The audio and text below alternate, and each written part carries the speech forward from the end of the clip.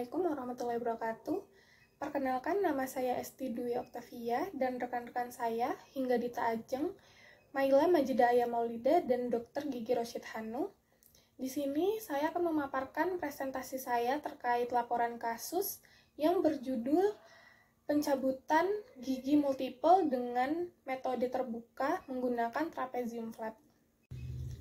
Untuk latar belakangnya sendiri, berdasarkan Riskesdas tahun 2018, sebesar 45,3 persen masalah kesehatan gigi dan mulut di Indonesia ialah karies. Karies yang tidak dirawat uh, akan menyebabkan kehilangan mahkota hingga uh, menyebabkan terjadinya sisa akar atau disebut gangren radix. Untuk gangren radix sendiri, uh, salah satu perawatannya ialah melakukan pencabutan. Biasanya, pada kasus gangren radix dilakukan pencabutan dengan menggunakan metode terbuka atau disebut juga open method. Pada kasus ini dilakukan pencabutan sisa akar dengan menggunakan uh, teknik open method menggunakan desain trapezium flap.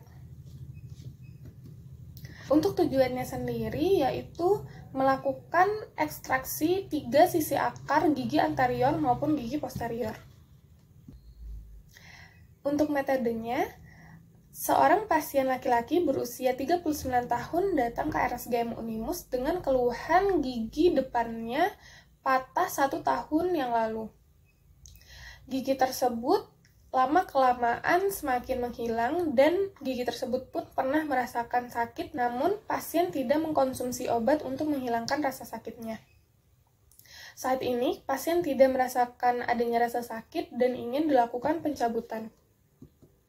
Untuk pemeriksaan objektif, pada pemeriksaan ekstraoral tidak terdapat kelainan. Kemudian untuk pemeriksaan intraoralnya, uh, terdapat sisa akar pada gigi 23, 24, dan 25 dengan palpasi negatif.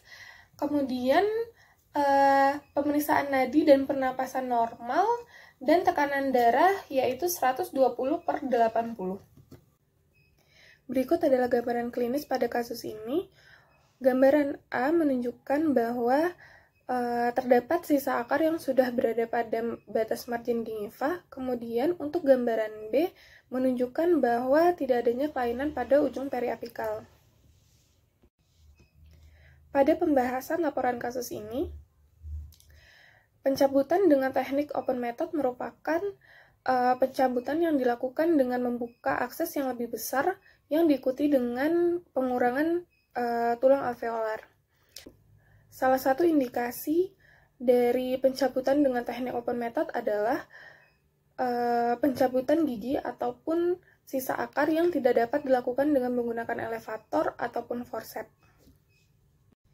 Sebelum dilakukan perawatan pencabutan dengan teknik open method ini, dilakukan persiapan operator dan pasien. Di sini operator menjelaskan inform konsep terlebih dahulu kepada pasien uh, dan menjelaskan bagaimana prosedur dari pencabutan uh, dengan teknik open method ini. Kemudian diinstruksikan kepada pasien untuk berkumur terlebih dahulu dan setelah itu dilakukan retraksi bibir rahang atas dengan menggunakan retraktor. Kemudian uh, dilakukan absepsis pada daerah kerja, yaitu pada daerah bukal maupun bagian palatal gigi 23, 24, dan 25 dengan menggunakan povidon iodin 10%. Kemudian setelah itu dilakukan anestesi dengan infiltrasi pada bagian mukobuccal gigi 23 dan 25 dan dilanjutkan uh, pada sisi palatal gigi 23 dan 25 setinggi apex. Kemudian, setelah itu dilakukan 6 tes dengan menggunakan eskavator. Apabila sudah teranestesi sempurna, maka dilakukan insisi pada gigi 23 dan 25. Pada insisi ini dilakukan dengan menggunakan skalpel nomor 15 uh, eh, dengan membentuk trapezium flap.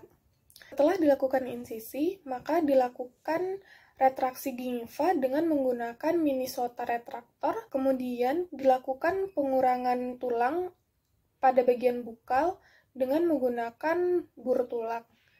Kemudian setelah itu dilakukan uh, luksasi dengan menggunakan Bain. Dan ketika sudah uh, terjadi luksasi, maka dilakukan pencabutan gigi 23, 24, dan 25 dengan menggunakan forceps ke arah bukal. Kemudian, uh, diperhatikan kembali anatomi dari sisa akar tersebut dan dilakukan pengecekan pada bagian soket dengan menggunakan kuret periapikal.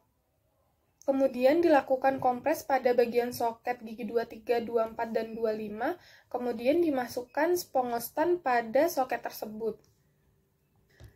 Setelah itu, dilakukan suturing interrupted pada bagian bukal gigi 25 dan pada bagian interdental gigi 24 dan 23. Kemudian setelah itu diinstruksikan kepada pasien untuk menggigit tampon 30 hingga 60 menit hingga perdarahannya selesai. Berikut adalah gambaran klinis pasca pencabutan dengan teknik open method.